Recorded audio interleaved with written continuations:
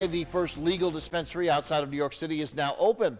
Several local license holders there are eagerly waiting for the green light to open up their shops here in the capital region. News 10 ABC's Harrison Grubb has the details.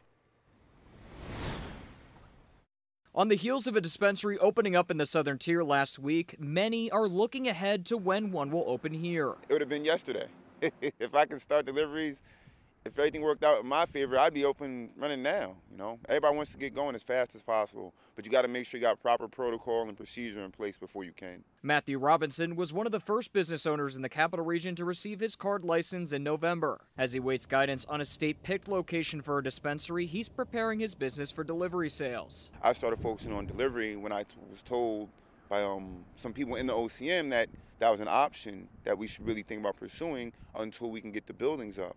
Robinson says selling cannabis has always been his dream and hopes to open a storefront in his hometown of Albany. I'm a small guy from Albany. I'm from downtown Albany.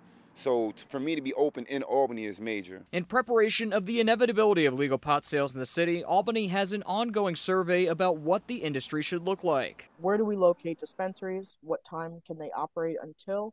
Um, and really where will they be operating? Right now, the city zoning would only allow for locations primarily in the warehouse district and South End. We've heard from the community that people would like to see that expanded and make it more in line with general retail, kind of like restaurants and bars, things of that nature. The survey, which concludes this Sunday, also aims to get feedback about how tax revenue from marijuana sales will go back into the community. And the first local sales are expected to begin very soon. A spokesperson for the Office of Cannabis Management says they anticipate a legal dispensary opening here in the capital region in the coming weeks. Reporting in Albany, Harrison Grubb, News 10, ABC.